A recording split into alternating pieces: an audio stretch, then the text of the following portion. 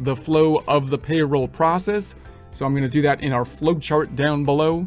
So we're in the payroll, basically like a vendor cycle. If it wasn't for all the complexities with taxes, then it would be basically you'd shake hands with somebody, they would work for you or whatever, and you pay them, and you basically just pay them like a vendor. But we have a bunch of withholdings and whatnot, which will change from place to place in the United States. We've got the federal and possibly state uh, to deal with. So what we need to do then is possibly enter the time first if they're hourly employees, although this time entry is not really required to process the payroll because you might be tracking time in some other way, or you might be using an hourly, I mean, a salaried type of system.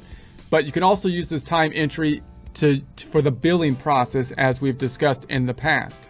Then of course, we're gonna process the payroll, which will generate payroll checks, which will be distinct forms different than other check forms in that they'll be marked off as like a payroll type of check. So we can determine which checks are payroll versus non-payroll type of checks.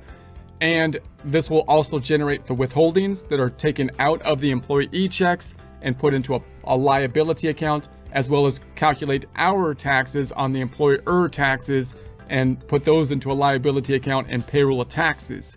Then, of course, at some point after that, which we'll do shortly, we'll have to pay the payroll liabilities uh, for the withholdings that we took and our payroll taxes. We're also going to have to deal with the 941s that are quarterly information returns, the 940 at the end of the year, the W2 and W3s uh, at the end of the year. So that's the general process. Note, if you're a bookkeeper or if you're doing your own business, you could do this internally or you could hire someone to do it as a third party like an ADP or a Paychex. Those are the big ones.